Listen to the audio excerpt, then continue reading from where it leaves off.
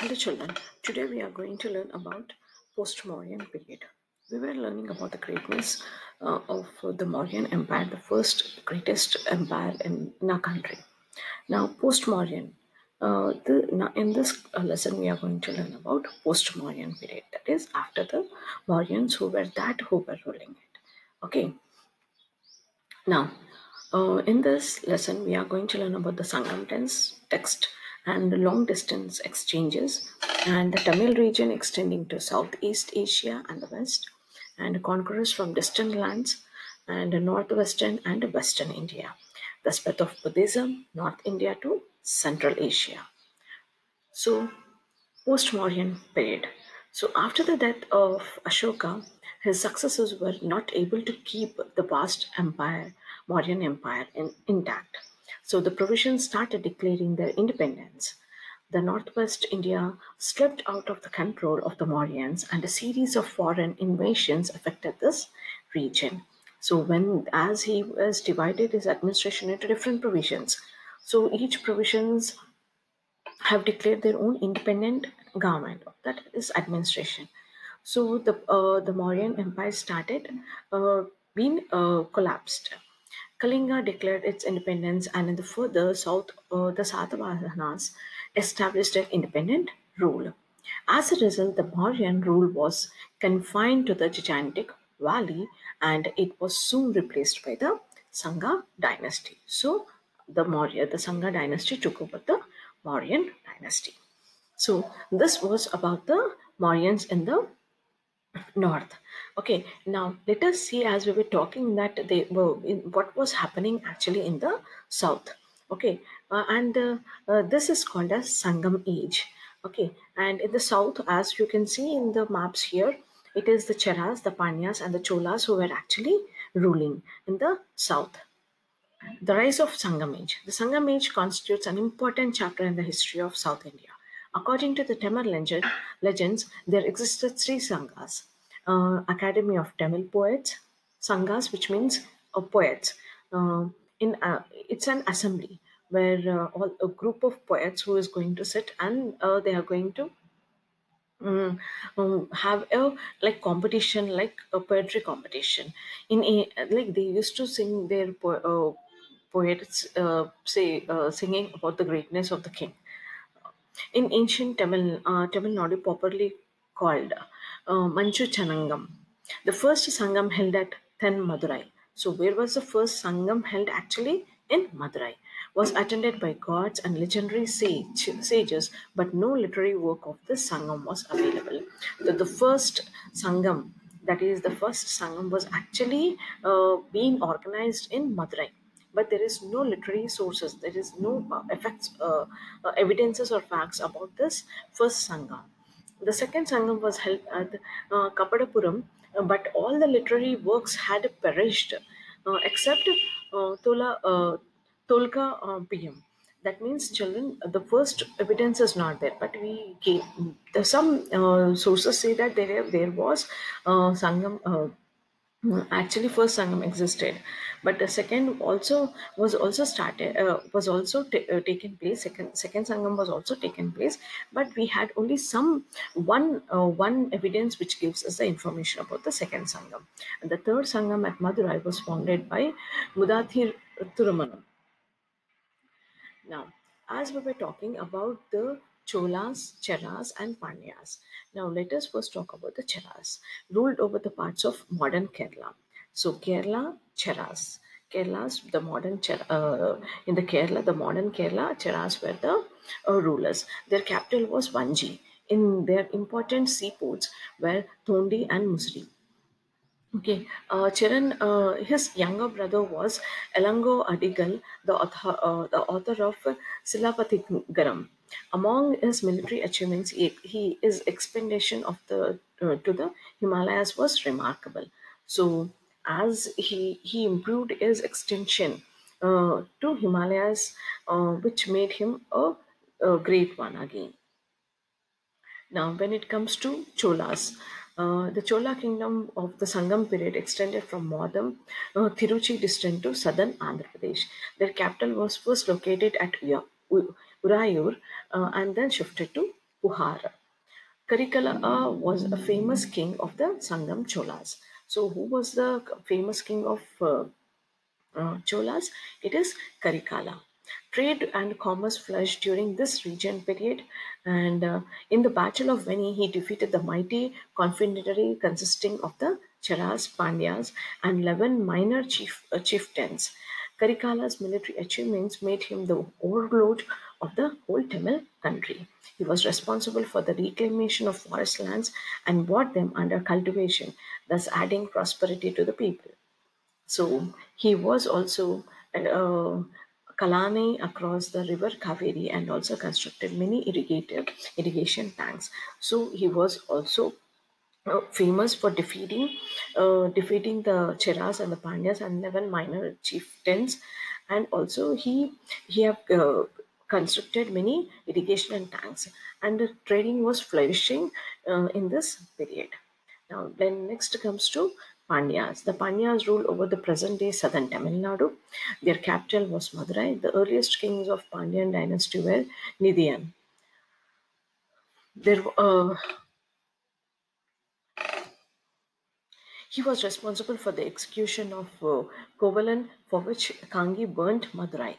Okay, he was praised by uh, Nakirar and uh, Mudungi uh, Marutharan. Okay, the minor chieftains. The minor chieftains played a significant role in the Sangam uh, period. Among them, Pari, Kari, Ori, and all these were the popular poets who were there in Pandya's uh, kingdom. So these were the three uh, kings who were actually ruling here, children. Okay, now in this post-Mauryan period, we are actually learning here is who were ruling in the south, who were ruling in the north Deccan okay it, these are the three uh, uh, three uh, uh king, uh, these were the three uh, kingdoms that is the cholas cheras and the pandyas and economy of this fine arts fine arts like poetry music and dancing were very popular during the sangam age. Okay the royal courts, uh, courts were actually crowned with singing uh, the bars called the Panvar and Priyala, and dancing was also performed. And how was the economy? The trading, actually, the trading was the most important uh, source of income or revenue for these uh, kings. But also, even they were also increasing their uh, revenue by uh, trading uh, agriculture uh, crops and also uh, spices spices of from the south which was actually you know, produced a lot in the southern uh, region they include weaving metals uh, works and uh, carpentry shipping building and making of ornaments using beads stones and ivory there was a great demand in the southern world of the cotton clothes woven at Rayur. And also, you know, as we were learning about the poets, okay, and when a poet was singing a good, uh, um, good, uh, praising very good uh, a king, then he used to give, he was uh, rewarded with many gold coins both internal and foreign trade was well organized and uh, briskly carried on in the Sangam age. The Sangam literature, Greek and Roman accounts, and the archaeological evidences provide detailed information of this subject. The port city of Puhar became an emporium of foreign trade. Gold, horses, and sweet wine were the chief imports. So there, uh, from this we can understand that there were so many imports and exports from inland and outside.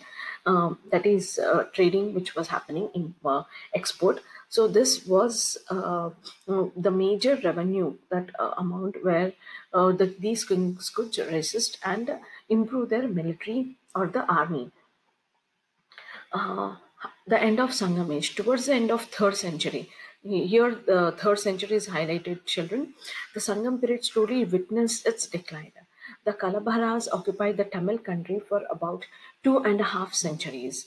Okay, the Pallavas in the north, Tamil Nadu, and Pandyas in the southern Tamil Nadu drove the Kalabhars out of the Tamil uh, country and established their rule. So this was from here, this, if we can see the end of the Sangam age. No, the Kushan Empire. Now, as we were learning about the southern, now let us know about what was actually happening in the after the decline of the Gupta Empire. What was happening in the um, northern, uh, the Deccan region. The Kushnas were a branch of Yuechi tribe whose original uh, home was Central Asia. They first came to Bactria, displacing the Sakas. The founder of the Kushna dynasty was Kuju, uh, Kujula of uh, one, and he occupied the Kabul Valley and issued coins in his name. His son uh, Vima uh, uh, uh, 1 and 2 conquered the whole of the northwestern India as far as Madura. So he was the, uh, he again uh, make a good empire in the um, northern Deccan. Kanishka was the most important ruler of Kushan dynasty. So who was the uh, most important ruler of Kushana dynasty? Uh, uh, is Kanishka. Uh, he was the founder of Saka era, which starts from 78 AD. He was not only a great conqueror but also a patron of religion and art. So Kanishka's conquest. At the time of his accession, his empire included Afghanistan, Gandhara, Sindh, and Punjab. Subsequently, he conquered Magadha and extended his power as far as Patliputra and Bodh. He also fought against the Chinese and acquired some territories from them. During the first ex uh, expedition, he was defeated by the Chinese general Pancho. He undertook a second ex uh, uh, expedition in which he was successful and he scored a victory over the Panyang and the son of Pancho. So here we can see again, uh, like he, he uh, we can see the Kanishka um, conquering many territories and uh, he become uh, and he also uh, placed a strong empire. His capital was uh, Purusha, uh, Purushapura of modern modern day Peshawar. Modern day Peshawar. So now how is that? Now Kanishka again uh, um, turned himself. Actually these all Satavahanas uh, and uh, these were the Hindus and who were following and they were actually worshipping uh, uh worshipping uh, Shiva, Lord Shiva. But they all, uh, these, uh, even Kanishka also uh, embraced Buddhism in the early part of his region. However, his coins exhibit the images of not only Buddha but also Greek and Hindu gods. Okay, he also engraved not only the Buddha but uh, uh, of Greek and Hindu gods also. In the age of Kanishka, the Mahayana and Buddhism came into wake. So that is. Um, uh, actually the buddhism is of two. Uh, was uh, early uh, buddhism was uh, hinayana which does not require any rituals or any ceremonies for praying or worshipping but uh, the mahayana is the later form the new form of, of, of buddhism. Okay where image worship and rituals developed in mahayana buddhism. The he patronized buddhism scholars like Vasu, vasumitra Ashwa, ashwaghosa and nagarjuna he also converted the Fourth Buddhist Council to discuss matters relating to Buddhist uh, the theology and doctrine. Ashwagosha was a great philosopher, poet, and dramatist. He was the author of Buddha, Charit- Buddha Charitra. Nagarjuna uh, from South India adorned the court of Kanishka. So here we can see how Kanishka also, uh, like Ashoka, also like uh, Ashoka, even Kanishka also started spreading Buddhism to all over the country. Now here you can see uh, Silk Route. You can see here the Silk Route. Okay, that is from China and uh, some parts and to from China uh, it is to the other parts of the Central Asia and uh, to Greece, Moscow, Russia. So this was a Silk Road economic belt. Okay, uh, silk, silk was the silk was only uh, was only produced in China, and this was uh, where uh, Silk Road uh, Silk Road was called as where China used to move from uh, from China to other parts of the world. That is Venice, Moscow, Russia, so all these places. So this was very important for trading China to from China to other places of the other places of the world. So how is this very important? Because uh, because it made it bring much revenue to the China and also the the countries which were giving place to them to move. So even them they were taking revenue taxes for uh, moving moving uh, silk from their territories. So this was another part of revenue, and uh, and you can also see there are there are um, seaports which are connected. Even the sea route is also connected for uh, moving silk. So empires expand their wealth uh, prospers by controlling silk trade. Han dynasty in in uh, china which was actually uh, prospers by controlling silk trade. All kingdoms require merchants to pay a tax to trade in their lands. So um, they if they want to trade in in particular land they need to pay some revenue to that particular merchants. Improve transportation building of new roads bridges ports and canals. So what happened here that this was uh, important for them to move the uh, to move some important for trading. Okay for trading uh, they need to develop or improve the channels of um, uh, channels of distribution. That is the new roads were built bridges were constructed ports were uh, po- po- ports were developed and also canals were constructed.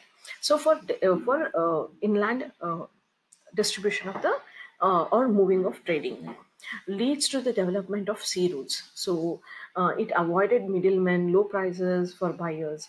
So cultural diffusion people exposed to new ideas cultures beliefs and and people. Now, spread of Buddhism. As we can see, the uh, like uh, Ashoka, even Kanishka also um, also was most interested in spreading Buddhism to other parts of the world. That is from uh, uh, from India. It is uh, uh, Afghan Afghanistan has become a main major point for Buddhism and and you can see here Tibet also. Now, next, uh, uh, spread of Buddhism to other countries. Buddhism was accepted by millions of people in other lands, and in this uh, uh, spread of Buddhism, Silk Thread, uh, Silk Route uh, made had good advantage in spreading Buddhism. As people were moving, and people were moving from one place to another place they also carried their views and uh, like uh, dhamma was actually spreaded from one person to other person as they were moving they started following this is how the buddhism spread and for that silk route uh, made a major contribution of spreading of buddhism Missionaries and traders carried the Buddha's message throughout the Asia. It took roots uh, first in China. Million of Chinese came uh, became Buddhist, and Buddhist monasteries in China became centers of religious thoughts. From China, Buddhism spread to Korea and Japan. Today, Buddhism is a part of cultures of, of such countries as Japan, Korea, Tibet, and part of China and Vietnam. So here you can see the spread of Buddhism to many lands, but after the time of Ashoka, it was never dominant in India again. As we can see, after the after Ashoka, it was never so much uh, being followed in India, but it is actually followed in other parts of the country more most preferably. Okay. So this is about the post-Mauryan period. After post-Mauryan period, what has actually uh, happened in the north